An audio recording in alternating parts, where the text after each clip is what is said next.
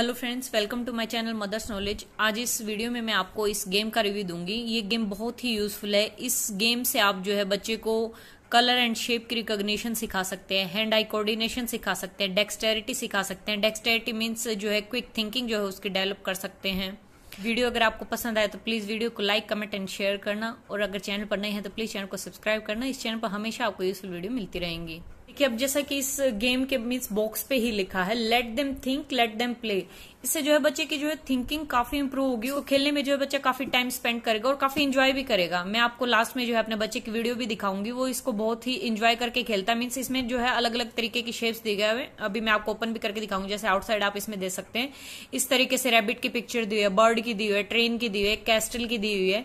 तो इसमें क्या कुछ शेप दिए हैं? तो उसमें से बच्चा जो है शेप को आइडेंटिफाई करेगा कौन सी शेप है? उसमें जो है करेक्ट उसको प्लेस करेगा तो उससे जो है बच्चे का हैंड आई कोऑर्डिनेशन भी इम्प्रूव होगा। तो ये देखिए, इस बॉक्स के अंदर है, ये जैसे आपको डिफरेंट डिफरेंट शेप्स दी हुई हैं इस तरीके से।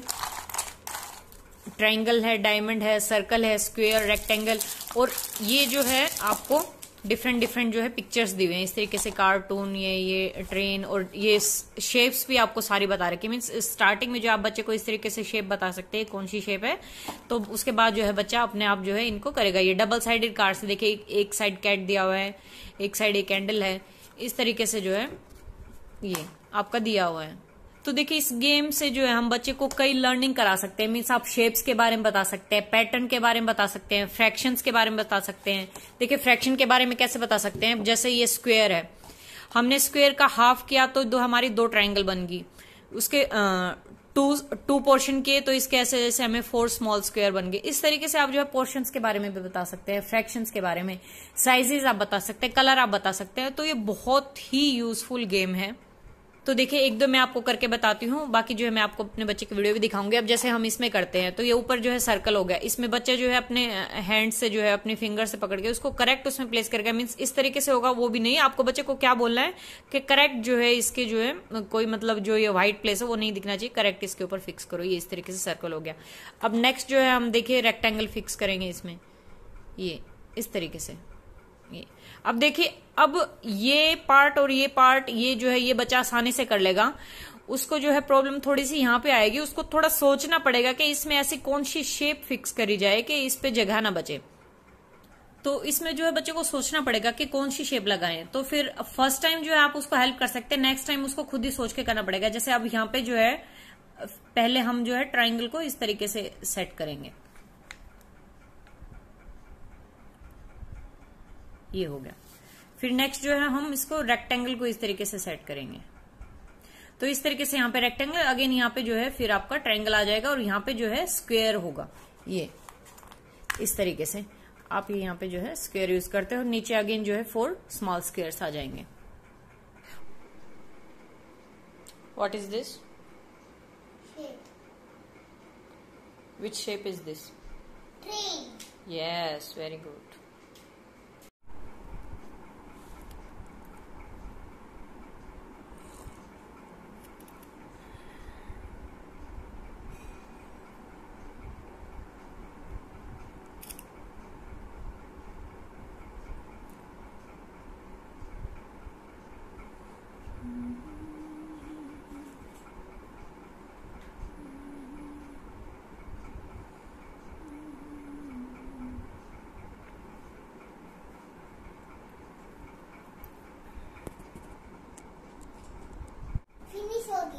finish हो गया। Okay next do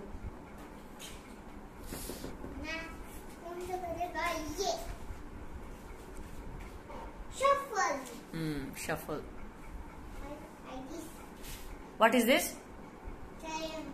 triangle when we do half of a square we get two triangles okay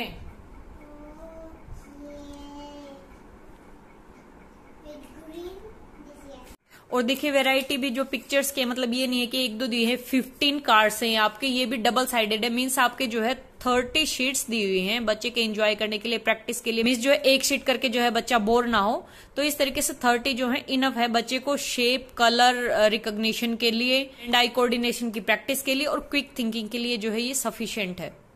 और इस गेम को जो है आप अपने बच्चे के लिए भी ला सकते हैं मीन्स और आप किसी के बच्चे की बर्थडे पार्टी में जा रहे हैं तो ये एक बहुत ही अच्छा ऑप्शन है बर्थडे गिफ्ट के लिए, इसको हम जो है कुछ एजुकेशनल जो है दे पाएँगे।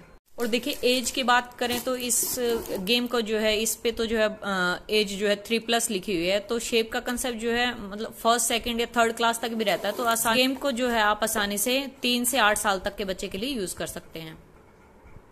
तो ये था आज के गेम का रिव्यू आप इसमें जो है बड़ी आसानी से अपने बच्चे को खेल खेल में जो है शेप्स एंड इस तरीके से जो है एजुकेशन टाइप से आप अच्छे से सिखा सकते हैं। और आप मेरे चैनल की प्लेलिस्ट पे learn how to read English का कोर्स जो है चेक कर सकते हैं। उसमें मैंने बेसिक से जो है एडवांस तक कराया है। काफ़ी स्टेप बाय स्टेप बताया वहाँ से आप अपने बच्चे को आसानी से इंग्लिश रीडिंग सिखा सकते हैं। इस वीडियो में इतना ही। मिलते हैं अगली वीडियो में। वीडियो को लाइक कमेंट एंड शेयर करना मत भूलना। Bye take care thank you